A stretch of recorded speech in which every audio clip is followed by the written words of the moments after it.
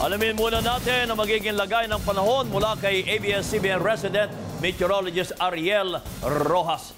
Ariel, mukhang mainit ang panahon sa nakalipas na mga araw.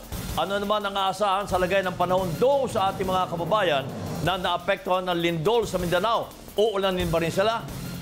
Kabayan, na- naging mahina po ang amihan sa nakalipas na mga araw at sa Northern Luzon lamang ito nagparamdam kaya naging maalinsangan ang panahon sa halos buong bansa. Magpatuloy po ito sa mga susunod na araw dahil ang easterlies o yung mainit na hangin mula sa Pasipiko ang iiral sa halos buong kapuluan.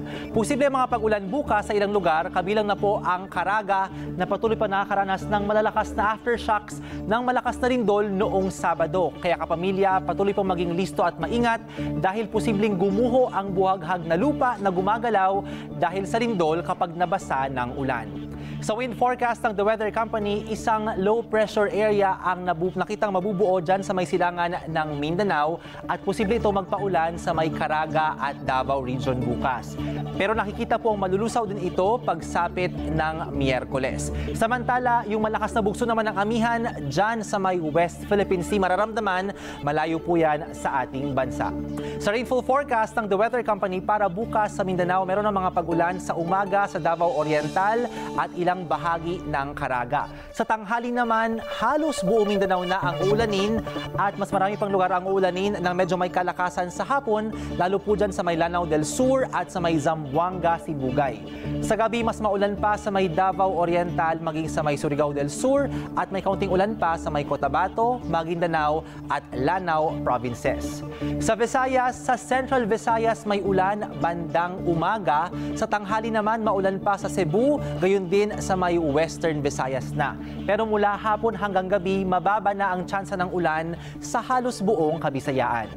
Sa Palawan, may ulan din po sa umaga sa may Kalamian Group of Islands, maging sa may bahagi ng Balabak sa katimugang parte. Pero mula bago magtanghali hanggang hapon, merong kalat-kalat pang ulan sa hilaga at gitnang bahagi ng probinsya na mawawala rin bago lumubog ang araw.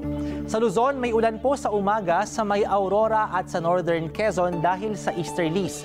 Mababawasan ito bandang tanghali na makakaapekto na rin po sa ilang karating probinsya sa may Northern at Central Luzon. Hanggang gabi naman mababa na ang tsansa ng ulan sa ibang bahagi pa ng Luzon.